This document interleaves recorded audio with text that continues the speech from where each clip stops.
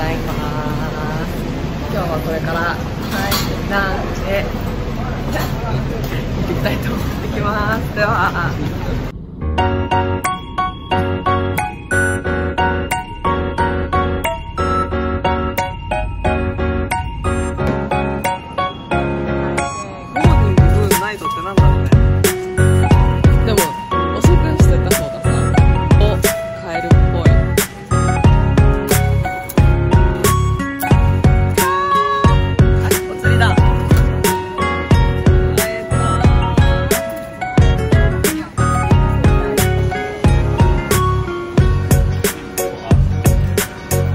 でさっきねネットでなんかお弁当あるってことを見たじゃん。でその中でなんかこのなんかお豊は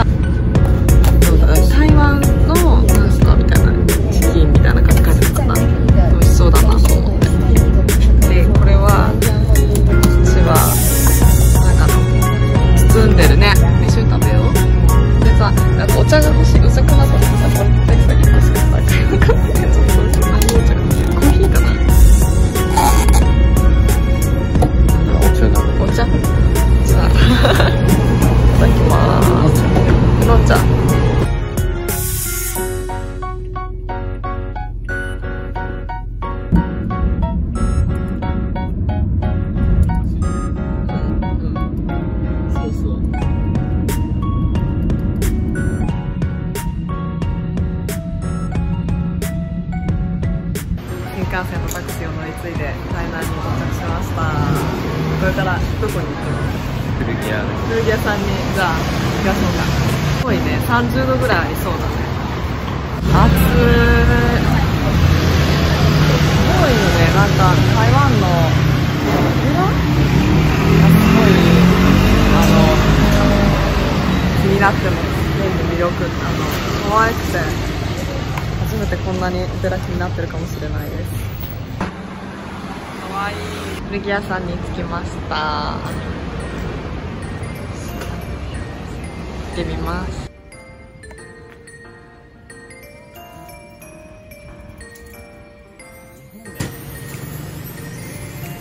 かわいいお水屋さんでしょうか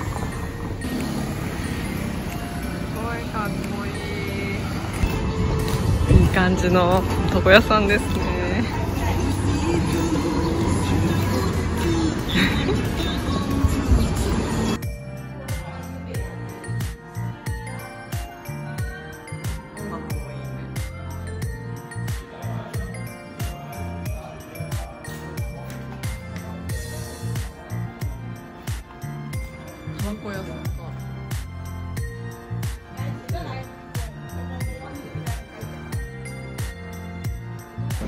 ね。え本当だね。楽しそうだよね。はいなすごい。取れないもんね。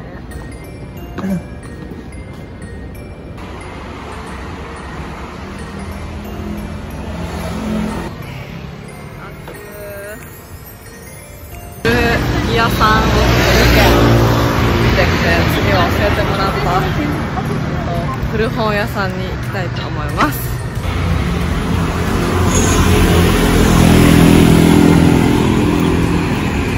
こちらちんこ書房さんです。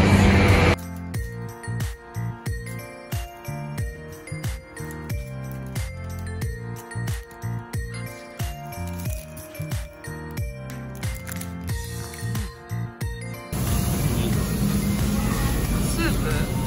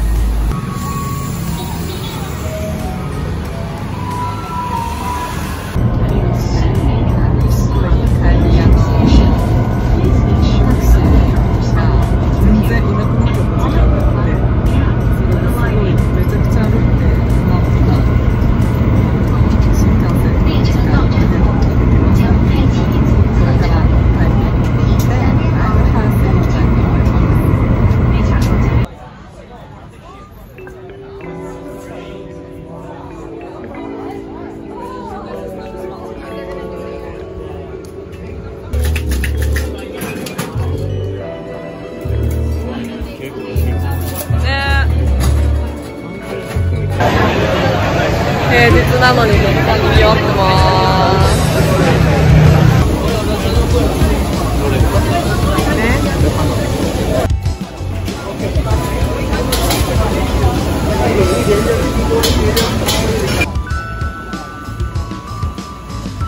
お疲れ様でした。何ビール台湾のビールどっちはあ、金タビール中国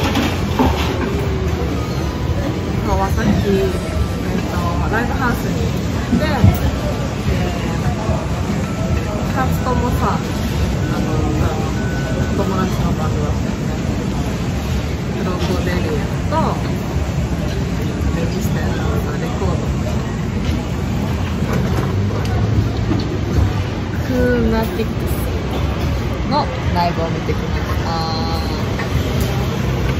で、えっと、3日、本日もまた昨日と同じ、えっと、ゲストハウスの近くの夜市に来まして、これ、ドドドドなんかあの、美味しそうなウインナーみたいな感じで、えっと、なんか大腸の血の詰って書いてあって、あれどんなんだろうと思ったんだけど、初めて見たらめっちゃ美味しかった。それは、すごいなんか、これ食べて、なんかあの、その八角の香りと、あとだってブランデーみたいなお酒の味もしてさ、すごいね。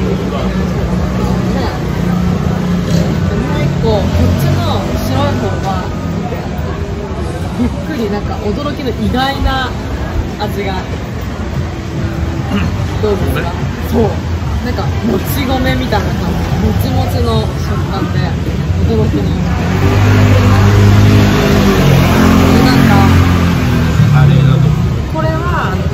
と思って買ってるんですけど実際にはどういう味か全くちょっとわからないので食レポをどうしカレーな気がす。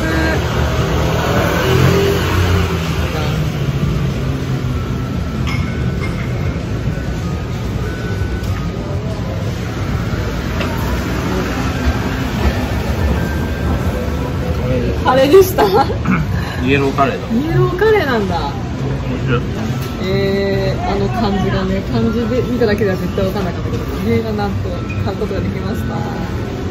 ということで中国語がよくわかりまね。